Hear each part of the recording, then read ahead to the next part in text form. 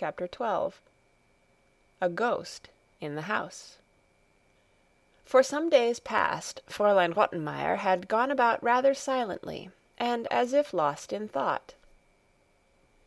As twilight fell, and she passed from room to room, or along the long corridors, she was seen to look cautiously behind her, and into the dark corners, as if she thought some one was coming silently behind her and might unexpectedly give her dress a pull. Nor would she now go alone into some parts of the house. If she visited the upper floor where the grand guest chambers were, or had to go down into the large mysterious council chamber, where every footstep echoed, and the old senators with their big white collars looked down so solemnly and immovably from their frames, she regularly called Tinette to accompany her, in case, as she said, there might be something to carry up or down. Tinette, on her side, did exactly the same. If she had business upstairs or down, she called Sebastian to accompany her, and there was always something he must help her with which she could not carry alone. More curious still, Sebastian also, if sent into one of the more distant rooms, always called John to go with him in case he should want his assistance in bringing what was required. And John readily obeyed, although there was never anything to carry, and either might well have gone alone, but he did not know how soon he might want to ask Sebastian to do the same service for him. And while these things were going on upstairs, the cook, who had been in the house for years, would stand shaking her head over her pots and kettles and sighing, "That ever I should live to know such a thing!" For something very strange and mysterious was going on in Herr Sesemann's house. Every morning, when the servants went downstairs, they found the front door wide open, although nobody could be seen far or near to account for it. During the first few days that this happened every room and corner was searched in great alarm, to see if anything had been stolen, for the general idea was that a thief had been hiding in the house and had gone off in the night with the stolen goods. But not a thing in the house had been touched. Everything was safe in its place. The door was doubly locked at night, and for further security the wooden bar was fastened across it, but it was no good. Next morning the door again stood open. The servants in their fear and excitement got up extra early, but not so early but what the door had been opened before they got downstairs, although everything and everybody around were still wrapped in slumber, and the doors and windows of the adjoining houses all fast shut. At last, after a great deal of persuasion from Fräulein Rottenmeier, Sebastian and John plucked up courage and agreed to sit up one night in the room next to the large council chamber and to watch and see what would happen. Fräulein Rottenmeier looked up several weapons belonging to the master, and gave these and a bottle of spirits to Sebastian, so that their courage might not faint if it came to a fight. On the appointed night the two sat down and began at once to take some of the strengthening cordial, which at first made them very talkative and then very sleepy, so that they leant back in their seats and became silent. As midnight struck, Sebastian roused himself and called to his companion, who, however, was not easy to wake, and kept rolling his head first to one side and then the other, and continuing to sleep. Sebastian began to listen more attentively, for he was wide awake now. Everything was still as a mouse; all sound had died away from the streets even. He did not feel inclined to go to sleep again, for the stillness was ghostly to him, and he was afraid now to raise his voice to rouse John, so he shook him gently to make him stir. At last, as one struck, John woke up, and came back to the consciousness of why he was sitting in a chair instead of lying in his bed. He now got up with a great show of courage, and said, "Come, Sebastian, we must go outside and see what is going on. You need not be afraid. Just follow me." Whereupon he opened the door wide and stepped into the hall. Just as he did so a sudden gust of air blew through the open front door, and put out the light which John held in his hand. He started back, almost overturning Sebastian, whom he clutched and pulled back into the room, and then shutting the door quickly he turned the key as far as he could make it go. Then he pulled out his matches and lighted his candle again. Sebastian, in the suddenness of the affair, did not know exactly what had happened, for he had not seen the open door or felt the breeze behind John's broad figure. But now, as he saw the latter in the light, he gave a cry of alarm, for John was trembling all over, and as white as a ghost. "What's the matter? What did you see outside?" asked Sebastian sympathetically. "The door partly open," gasped John, "and a white figure standing at the top of the steps. There it stood, and then all in a minute it disappeared." Sebastian felt his blood run cold. The two sat down close to one another, and did not dare move again till the morning broke and the streets began to be alive again. Then they left the room together, shut the front door, and went upstairs to tell Fräulein Rottenmeier of their experience. She was quite ready to receive them, for she had not been able to sleep at all in the anxiety of waiting to hear their report.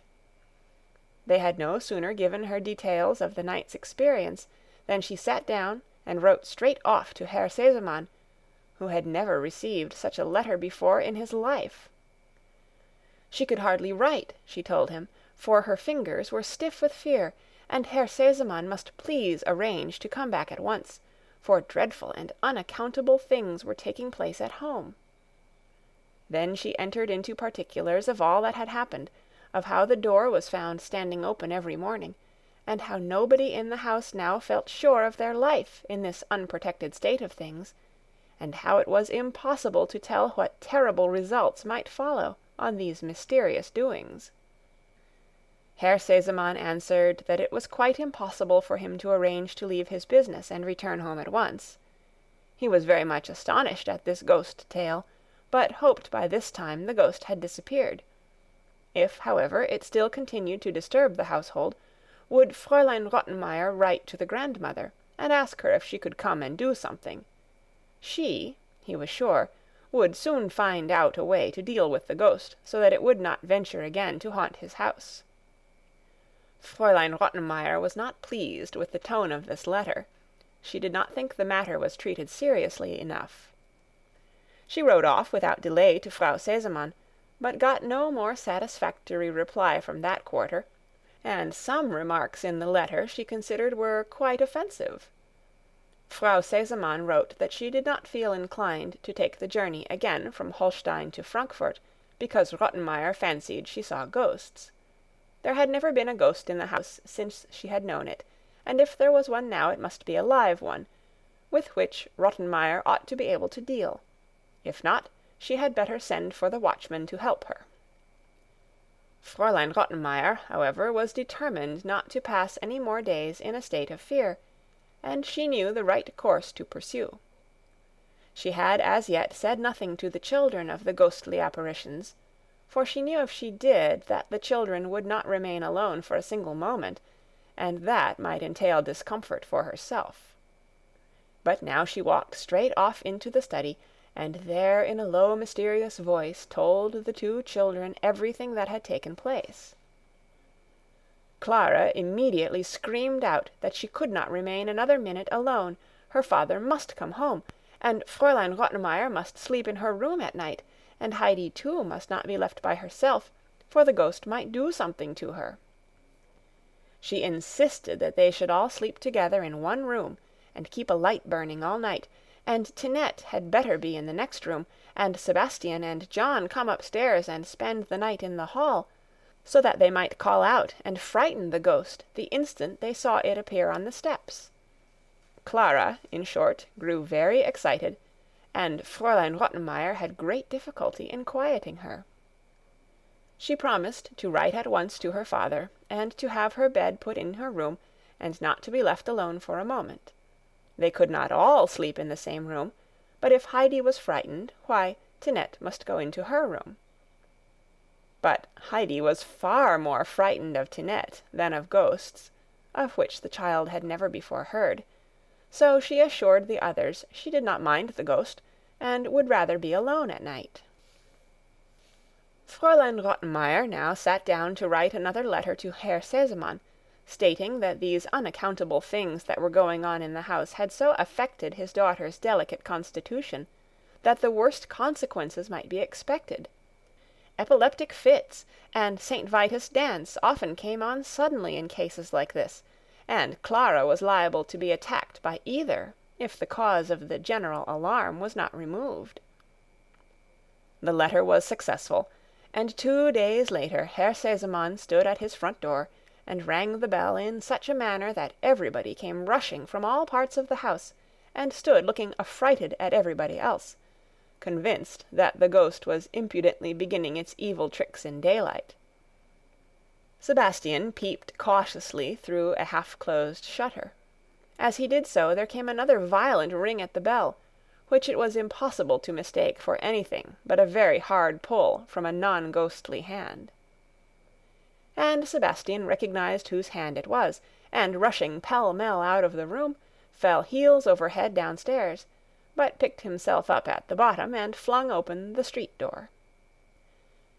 Herr Sesemann greeted him abruptly, and went up without a moment's delay into his daughter's room.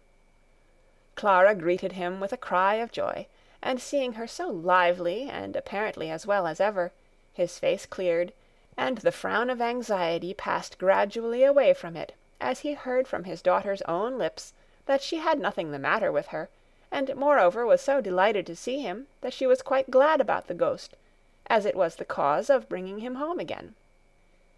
"And how is the ghost getting on?" he asked, turning to Fräulein Rottenmeier with a twinkle of amusement in his eye. "It is no joke, I assure you," replied that lady. "You will not laugh yourself tomorrow morning, Herr Sesemann. What is going on in the house points to some terrible thing that has taken place in the past and been concealed." "Well, I know nothing about that," said the master of the house but I must beg you not to bring suspicion on my worthy ancestors. And now, will you kindly call Sebastian into the dining room, as I wish to speak to him alone." Herr Sesemann had been quite aware that Sebastian and Fräulein Rottenmeier were not on the best of terms, and he had his ideas about this scare. "Come here, lad," he said, as Sebastian appeared, "and tell me frankly. Have you been playing at ghosts to amuse yourself at Fräulein Rottenmeier's expense?" "No, on my honor, sir. Pray do not think it. I am very uncomfortable about the matter myself," answered Sebastian with unmistakable truthfulness. "Well, if that is so, I will show you and John tomorrow morning how ghosts look in the daylight. You ought to be ashamed of yourself, Sebastian, a great strong lad like you to run away from a ghost. But now go and take a message to my old friend the doctor. Give him my kind regards, and ask him if he will come to me to-night at nine o'clock without fail. I have come by express from Paris to consult him. I shall want him to spend the night here, so bad a case is it, so he will arrange accordingly. You understand?" "Yes, sir," replied Sebastian. "I will see to the matter as you wish. Then Herr Sesemann returned to Clara, and begged her to have no more fear, as he would soon find out all about the ghost and put an end to it. Punctually at nine o'clock, after the children had gone to bed and Fräulein Rottenmeier had retired, the doctor arrived. He was a grey-haired man with a fresh face, and two bright kindly eyes. He looked anxious as he walked in, but, on catching sight of his patient, burst out laughing and clapped him on the shoulder. "Well," he said, "you look pretty bad for a person that I am to sit up with all night." "Patience, friend," answered Herr Sesemann. "The one you have to sit up for will look a good deal worse when we have once caught him." "So there is a sick person in the house, and one that has first to be caught?" "Much worse than that, doctor. A ghost in the house. My house is haunted. The doctor laughed aloud. "That's a nice way of showing sympathy, doctor," continued Herr Sesemann. It's a pity my friend Rottenmeier cannot hear you. She is firmly convinced that some old member of the family is wandering about the house doing penance for some awful crime he committed." "How did she become acquainted with him?" asked the doctor, still very much amused. So Herr Sesemann recounted to him how the front door was nightly opened by somebody, according to the testimony of the combined household and he had therefore provided two loaded revolvers, so as to be prepared for anything that happened, for either the whole thing was a joke got up by some friend of the servants, just to alarm the household while he was away, and in that case a pistol fired into the air would procure him a wholesome fright, or else it was a thief, who, by leading everybody at first to think there was a ghost, made it safe for himself when he came later to steal, as no one would venture to run out if they heard him, and in that case, too, a good weapon would not be amiss. The two took up their quarters for the night in the same room in which Sebastian and John had kept watch. A bottle of wine was placed on the table, for a little refreshment would be welcome from time to time if the night was to be passed sitting up. Beside it lay the two revolvers, and two good-sized candles had also been lighted, for Herr Sesemann was determined not to wait for ghosts in any half light. The door was shut close to prevent the light being seen in the hall outside, which might frighten away the ghost. And now the two gentlemen sat comfortably back in the armchairs and began talking of all sorts of things, now and then pausing to take a good draught of wine, and so twelve o'clock struck before they were aware. The ghost has got scent of us, and is keeping away tonight," said the doctor. "Wait a bit. It does not generally appear before one o'clock," answered his friend. They started talking again. One o'clock struck. There was not a sound about the house, nor in the street outside. Suddenly the doctor lifted his finger. "Hush! Sesemann, don't you hear something?" They both listened and they distinctly heard the bar softly pushed aside, and then the key turned in the lock, and the door opened. Herr Sesemann put out his hand for his revolver. "You are not afraid, are you?" said the doctor as he stood up. "It is better to take precautions," whispered Herr Sesemann, and seizing one of the lights in his other hand, he followed the doctor, who, armed in like manner with a light and a revolver, went softly on in front. They stepped into the hall. The moonlight was shining in through the open door and fell on a white figure standing motionless in the doorway. "Who is there?" thundered the doctor in a voice that echoed through the hall, as the two men advanced with lights and weapons towards the figure. It turned and gave a low cry.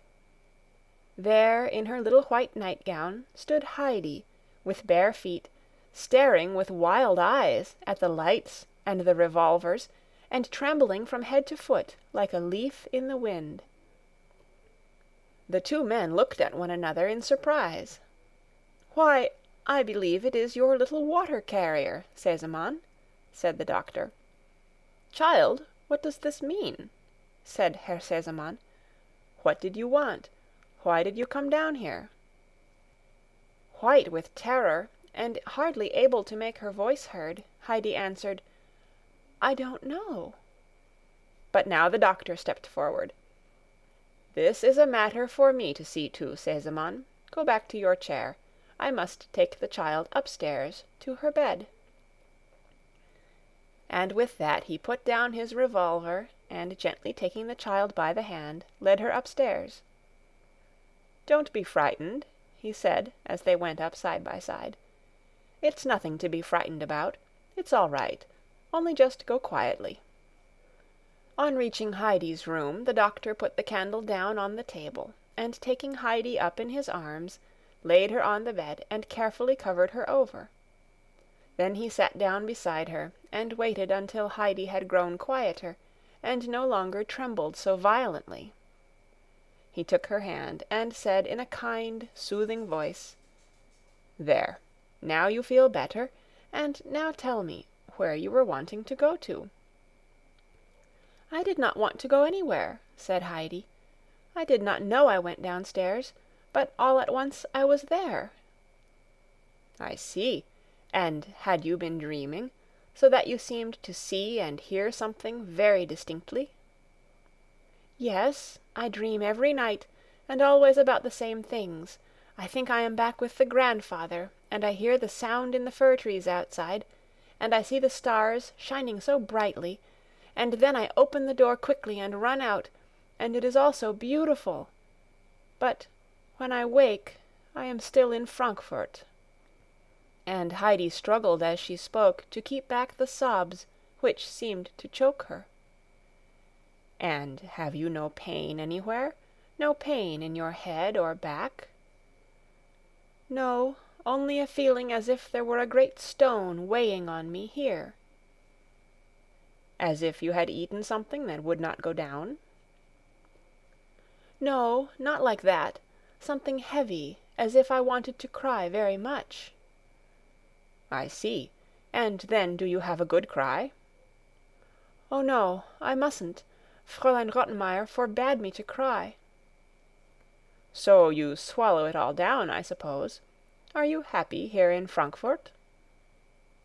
"Yes," was the low answer, but it sounded more like no. "And where did you live with your grandfather?" "Up on the mountain." "That wasn't very amusing. Rather dull at times, eh?" "No, no, it was beautiful, beautiful!" Heidi could go no further. The remembrance of the past the excitement she had just gone through, the long suppressed weeping, were too much for the child's strength. The tears began to fall fast, and she broke into violent weeping. The doctor stood up and laid her head kindly down on the pillow. There, there, go on crying, it will do you good, and then go to sleep. It will be all right tomorrow. Then he left the room and went downstairs to Herr Sesemann. When he was once more sitting in the armchair opposite his friend, "Sesemann," he said, "let me first tell you that your little charge is a sleep-walker. She is the ghost who has nightly opened the front door and put your household into this fever of alarm. Secondly, the child is consumed with homesickness, to such an extent that she is nearly a skeleton already, and soon will be quite one, something must be done at once. For the first trouble, due to her overexcited nerves, there is but one remedy to send her back to her native mountain air. And for the second trouble there is also but one cure, and that the same. So, tomorrow the child must start for home. There you have my prescription. Herr Sesemann had arisen and now paced up and down the room in the greatest state of concern. "What!" he exclaimed. "The child a sleep-walker, and ill? Homesick, and grown emaciated in my house? All this has taken place in my house, and no one seen or known anything about it. And you mean, doctor, that the child who came here happy and healthy, I am to send back to her grandfather a miserable little skeleton? I can't do it. You cannot dream of my doing such a thing. Take the child in hand, do with her what you will, and make her whole and sound, and then she shall go home. But you must do something first." "Sesemann," replied the doctor, "consider what you are doing. This illness of the child's is not one to be cured with pills and powders. The child has not a tough constitution, but if you send her back at once she may recover in the mountain air. If not You would rather she went back ill than not at all." Herr Sesemann stood still. The doctor's words were a shock to him.